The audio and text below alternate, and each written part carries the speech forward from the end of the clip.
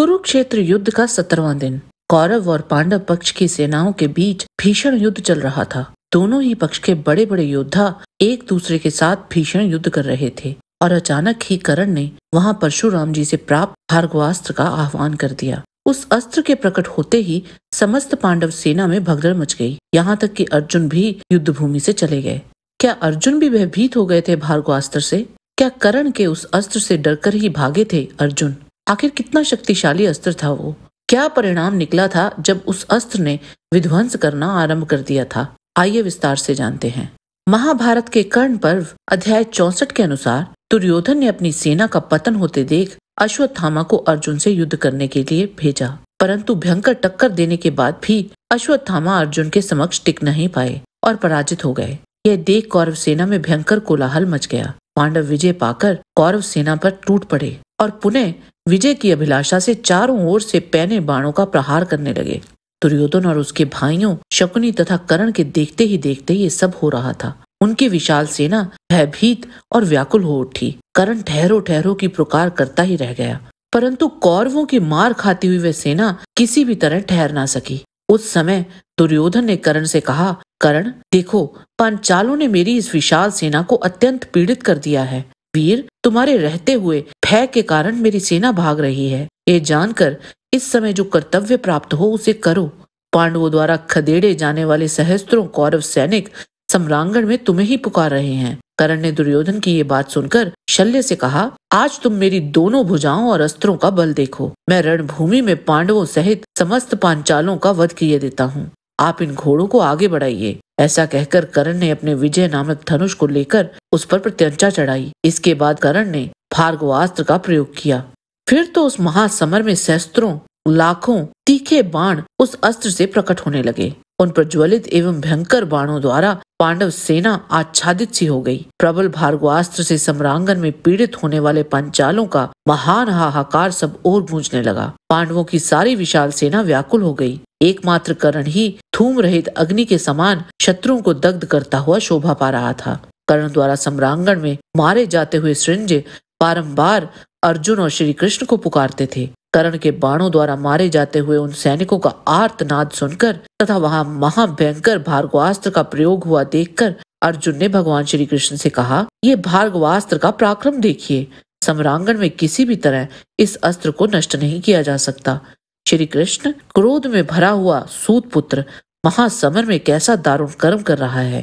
वह निरंतर घोड़ों को हाँकता हुआ बारंबार मेरी ही ओर दिख रहा है। समर भूमि में कर्ण के सामने से पलायन करना मैं उचित नहीं समझता। मनुष्य जीवित रहे तो वह युद्ध में विजय और पराजय दोनों पाता है। मरे हुए मनुष्य का तो नाश ही हो जाता है। फिर उसकी विजय कहाँ से हो सकती है? अर्जुन के ऐसा कहने पर श्री कृष्ण ने अर्जुन से कहा, पार्थ, कर्ण ने राजा युधिष्ठिर को अत्यंत क्षत कर दिया है। उनसे मिलकर उन्हें धीरज बंधाकर फिर तुम करण का वध करना। अर्जुन ने बड़े वेग से भीमसेन के पास जाकर उनसे राजा का समाचार पूछते हुए कहा, भैया, इस समय हमारे महाराज कहाँ हैं? भीमसेन ने कहा, धर्मपुत्र राजा युधिष्ठिर यहाँ से हट गए हैं। करण के बाणों से उनके सारे अंग संतप्त हो रहे हैं। संभव है वे किसी प्रकार जी रहे हैं। अतः आप शीघ्र ही उनका समाचार जानने के लिए जाइए। मैं यहाँ शत्रुओं को रोके रहूँगा। तब श्री कृष्ण रथ को शीघ्र से शीघ्र वहाँ ले गए। जहाँ राजा युधिष्ठिर विश्राम कर रहे थे, वहाँ युधिष्ठिर से मिलकर अर्जुन ने उन्हें कर्ण का वध करने का विश्वास दिलाया। जब श्री कृष्ण और अर्जुन वापस युद्ध भूमि में लौट रहे थे तो श्री कृष्ण अर्जुन से बोले, भरत श्रेष्ठ, देखो, वे पांचाल योद्धा दौड़ रहे हैं। निश्चय ही करण और दूसरे दूसरे योद्धा उन्हें दौड़ा रहे हैं। अर्जुन, तुम उनका उद्धार करो। करण ने भृगु नंदन परशुराम जी से जो महाघोर अस्त्र प्राप्त किया है, उसी का रूप इस समय प्रकट हो रहा है। वह अत्यंत भयंकर एवं घोर भार्गवास्त्र पांडवों की विशाल सेना को आच्छादित करके अपने तेज से प्रज्वलित हो संपूर्ण सैनिकों को संतप्त कर रहा है। सम्रांगण में इसकी चोट खाकर ये पांचाल सैनिक संपूर्ण दिशाओं में भाग रहे हैं। भीमसेन सब ओर से सिंजों द्वारा घिरकर कर्ण के साथ युद्ध करते हुए उसके पैने बाणों से पीड़ित हो रहे हैं। युधिष्ठिर की सेना में तुम्हारे सिवा दूसरे किसी योद्धा को मैं ऐसा नहीं देखता जो राधा पुत्र कर्ण का सामना कर सके। पार्थ, आज तुम अपनी प्रतिज्ञा के अनुसार तीखे बाणों से करण का वध करके उज्जवल कीर्ति प्राप्त करो। पार्थ, अतः महारथी करण को मारकर ये महान कार्य संपन्न करने के पश्चात तुम कृत सत्य, सफल मनोरथ एवं सुखी हो जाओ। और उसी दिन अर्जुन के हाथों करण मारे भी गए थे। अंत में निष्कर्ष निकाला जाए कि अर्जुन भार्गवास्त्र से डर गए थे तो ये सरासर गलत होगा। अर्जुन ने भी उस अस्त्र की प्रशंसा करते हुए श्री कृष्ण से कहा था कि इस अस्त्र का कोई तोड़ नहीं जान पड़ता। अर्जुन वहीं रुककर करण का सामना करने को तत्पर थे, पर श्री कृष्ण के कहने पर वह युधिष्ठिर को देखने के लिए निकल पड़े। वैसे भी जब वह अस्त्र अपना प्रचंड रूप दिखा रहा था, तब भीम युद्ध भूमि में ही थे। उस अस्त्र ने भीम की क्या ही क्षति कर दी थी। उनके अतिरिक्त नकुल सहदेव, सात्यकी धृष्ट दुमन आदि और भी बड़े बड़े पांडव योद्धा भी युद्ध भूमि में ही उपस्थित थे। भार्गवास्त्र किसी भी बड़े योद्धा का वध नहीं कर पाया था। सिर्फ़ आम सैनिक ही उसकी चपेट में आकर मारे गए थे। इससे अधिक कुछ नहीं। जब युधिष्ठिर से मिलकर अर्जुन वापस लौटे थे, तब भी भार्गवास्त्र सक्रिय ही था। उस समय भी उसका प्रभाव केवल पांचाल सेना पर ही पड़ा था।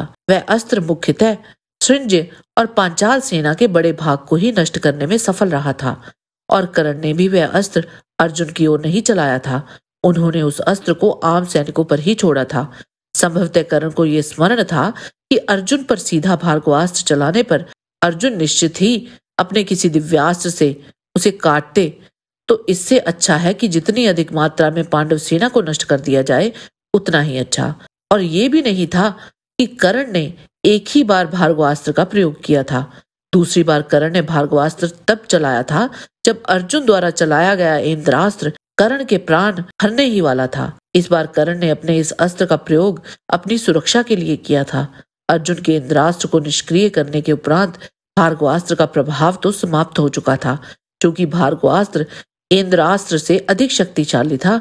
इसीलिए इनके टकराने से पांडव सेना का कुछ विनाश अवश्य हुआ, परंतु भार्गवास्त्र का प्रभाव शीघ्र ही समाप्त हो गया था। अतः उसे प्रभावहीन करने के लिए अन्य अस्त्र चलाने की आवश्यकता नहीं पड़ी। इसके बाद अर्जुन ने ब्रह्मास्त्र के समान एक अन्य दिव्यास्त्र का प्रयोग किया और करण की आँखों के सामने ही उस अस्त्र ने कुरु सेना का भारी विनाश किया और करण कुछ नहीं कर सके। कई प्रमुख योद्धा उस अस्त्र से मारे गए, परंतु करण अर्जुन के इस अस्त्र का प्रतिकार करने में असफल रहे। इस बार करण ने भार्गवास्त्र क्यों नहीं चलाया? भार्गवास्त्र निश्चित ही एक शक्तिशाली अस्त्र था, परंतु इतना नहीं जितना उसका प्रचार किया जाता है, और इतना तो बिल्कुल भी नहीं कि अर्जुन उस अस्त्र से डरकर भाग जाते। जय श्री कृष्ण। आज के वीडियो में बस इतना ही। आशा करते हैं कि आपको हमारा ये वीडियो पसंद आया होगा। कृपया इसे लाइक और शेयर अवश्य करें।